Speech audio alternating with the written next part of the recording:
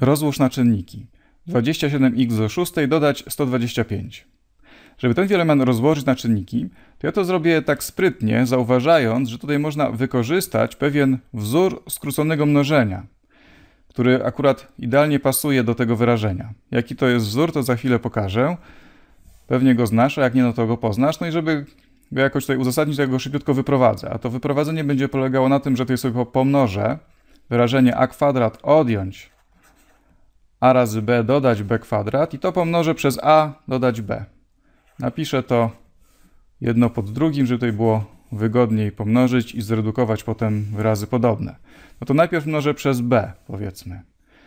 Czyli będę miał tak, a kwadrat razy b to jest a kwadrat b, odjąć a razy b razy b to będzie a razy b kwadrat i dodać b kwadrat razy b, czyli b do trzeciej. Teraz będę mnożył przez a, a razy a kwadrat to będzie a do trzeciej, odjąć a razy ab, czyli a kwadrat b i dodać a razy b kwadrat, no to będzie a razy b kwadrat. No i teraz widzimy, że jak będziemy tutaj dodawać, to nam się tutaj dużo zredukuje, dlatego że mam tutaj a kwadrat b, a tu mam minus a kwadrat b pod spodem, czyli to się zredukuje z tym, zostanie 0, a tutaj mam minus ab kwadrat, to mam plus ab kwadrat, czyli to z tym też się zredukuje. I zostanie mi tylko a do trzeciej dodać b do trzeciej. Czyli wyprowadziłem sobie taki fajny wzór na rozkład na iloczyn sumy sześcianów, a do trzeciej dodać b do trzeciej. No bo to, co tutaj wyszło, to jest iloczyn tych dwóch wyrażeń, od, od których tutaj zacząłem. Czyli mogę napisać, że a do trzeciej dodać b do trzeciej, to co to jest? To jest a dodać b pomnożone przez a kwadrat odjąć ab dodać b kwadrat. Taki wyprowadziłem sobie wzór skróconego mnożenia. No i może go znasz, może nie.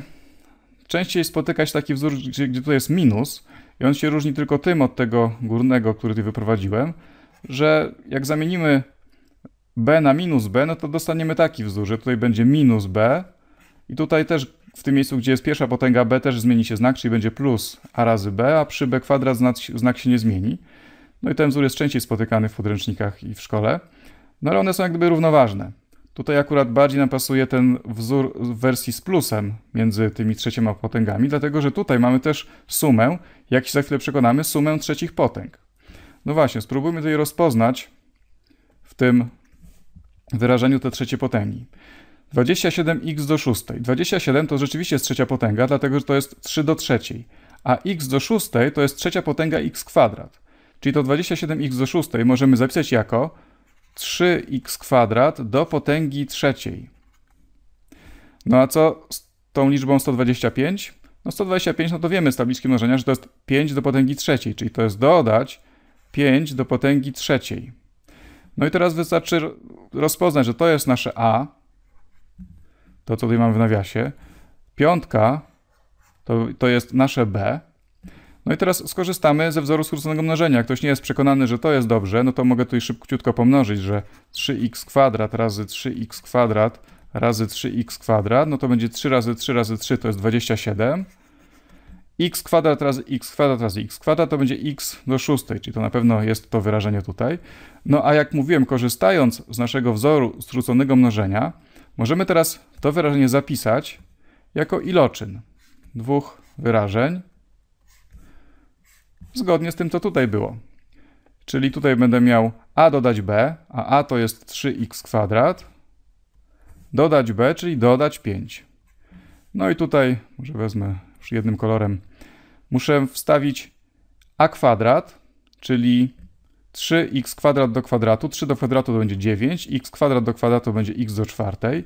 Potem mam odjąć a razy b, czyli 3x kwadrat razy 5 to będzie 15 x kwadrat.